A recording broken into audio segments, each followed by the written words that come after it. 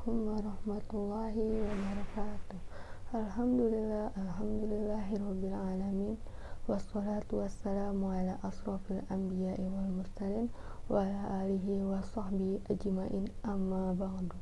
Pertama-tama marilah kita panjatkan puja dan puji syukur kehadirat Allah Subhanahu wa taala yang telah melimpahkan nikmat kepada kita serta salam tak lupa kita curah limpahkan kepada junjungan kita Nabi Muhammad Sallallahu Alaihi Wasallam kepada para sahabatnya, kepada para tabi'in tabi'in dan para pengikutnya dan semoga kita termasuk yang mendapatkan syafaatnya di akhirat kelak. Amin. Bulan Ram di bulan Ramadan biasanya ayat yang sering kita dengar adalah Quran surat Al-Baqarah ayat 183 tapi ternyata ada ayat lain yang tak kalah menarik dalam berbagai kajian dan bacaan sering kali diulang. Coba tebak, coba tebak ayat apa itu? Quran Surat Al-Baqarah ayat 186 Dan apabila hamba-hambaku bertanya kepadamu tentang aku, maka jawablah bahwasanya aku adalah dekat. Aku mengabulkan permohonan orang yang berdoa apabila ia memohon kepadaku maka hendaklah mereka itu memenuhi segala perintahku dan hendaklah mereka beriman kepadaku agar mereka selalu berada dalam kebenaran. Quran Surat Al-Baqarah ayat 186 Sahabat pernah menonton video Noman Alikan yang berjudul Allah itu dekat. Beliau menyampaikan dengan bahasa Al-Quran langsung disertai bahasa Inggris yang maknanya dapat dipahami. Dari penjelasan Quran Surat Al-Baqarah ayat 186 dapat dibagi menjadi enam bagian utama. Yang pertama, dan apabila hamba-hambaku bertanya kepadamu tentang aku. Hal menarik di ayat pertama ini penggunaan kata iza yang bermakna ketika menggunakan kata when bukan if. Apa bedanya ketika dengan jika? Ketika adalah setiap waktu, kapan pun bahkan sudah ada persiapan untuk menerima, sedangkan jika ada prasyarat yang harus dipenuhi terlebih dahulu. Allah menggunakan kata izah yang berarti Allah selalu ada dan siap menunggu kita para hamba untuk datang kepadanya. Yang kedua, maka jah, maka jawablah bahwasanya aku adalah dekat. Allah langsung menjawab, aku dekat tanpa perantara. Allah tidak mengatakan dengan redaksional, katakanlah aku dekat, tapi bahwasanya aku adalah dekat.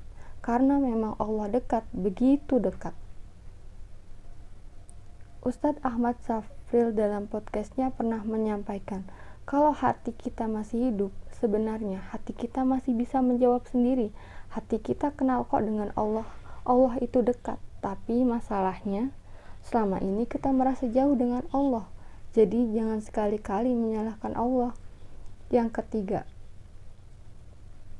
aku mengabulkan permohonan orang yang berdoa. Pemilihan kata yang menarik lagi, Allah menyebutkan kata permohonan orang, bukan permohonan orang beriman atau kata lain yang syaratnya lebih berat. Kita hanya perlu menjadi muslim yang biasa saja, Allah akan mengabulkan doa kita, apalagi jika kita menjadi seorang muslim yang taat. Kita mungkin memang banyak dosa, hanya saja Allah yang menutup aib kita di depan manusia lainnya. Tapi bukan berarti karena itu Allah tidak punya kuasa untuk mengabulkan doa kita. Mudah saja bagi Allah mengabulkan doa kita.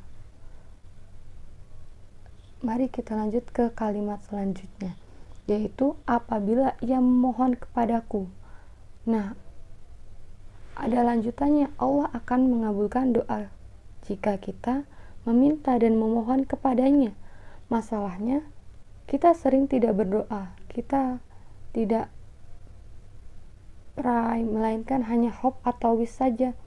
Lebih sederhana lagi, saat kita pengen sesuatu, lalu tidak terkabulkan, kita ngomel-ngomel. Bahkan lucu, minta dong ya kepada Allah gitu. Mudah saja bagi Allah memberikan sesuatu kepada hambanya tanpa doa, Misalnya oksigen. Adakah kita meminta oksigen kepada Allah? Enggak kan?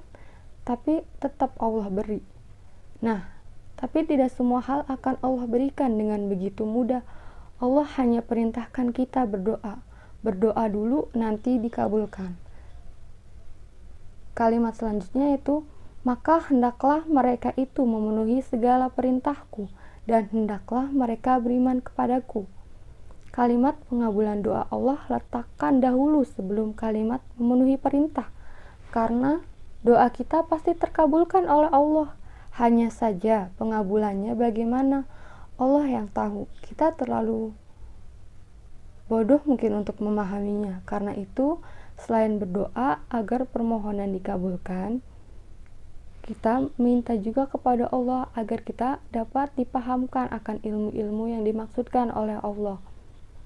Sebagaimana kita penuhi perintah Allah yaitu beriman kepada Allah. Sayangnya, Allah sudah mengabulkan doa, tapi kita malah berbuat sebaliknya. Tapi ada yang menarik lagi, kata yang digunakan adalah hendaklah. Yang bermakna anjuran bukan haruslah, yang bermakna perintah. Allah tidak memaksa kita untuk memenuhi perintahnya, tapi ya masa kita nggak sadar apa yang harusnya kita lakukan setelah sekian banyak kebaikan yang Allah berikan. Jadilah manusia yang bersyukur, bukan malah berterima kasih. Kira-kira begitulah maknanya. Yang selanjutnya itu agar mereka selalu berada dalam kebenaran. Penggalan kalimat terakhir agar selalu berada dalam kebenaran yaitu maksudnya kita harus selalu berdoa kepada Allah. Kita berdoa kepada Allah itu ada sudah termasuk sebuah kebenaran karena doa adalah sarana kita untuk terhubung kepada Allah maka kita harusnya menikmati setiap proses doa, bukan hanya terkabulnya doa saja, kita perlu untuk berkomunikasi dua arah kepada Allah, bukan hanya berbicara satu arah saja. Kalau Allah berdoa adalah cara kita berbicara kepada Allah, maka membaca Al-Quran kalau membaca Al-Quran adalah cara Allah berbicara kepada kita. Kalau Allah dikaitkan dengan teori komunikasi, lengkaplah sudah empat syarat utamanya. Ada penyampaian pesan, pesan, media, dan penerima pesan.